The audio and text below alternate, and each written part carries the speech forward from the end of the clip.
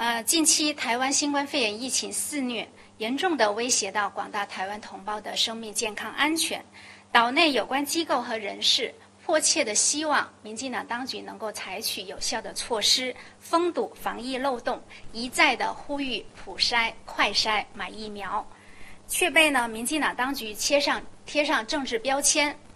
不仅如此，他们还故技重施，煽动网军演出了一。演了一出甩锅抹黑大陆的所谓认知作战的闹剧，试图呢转移视线，欺骗岛内民众。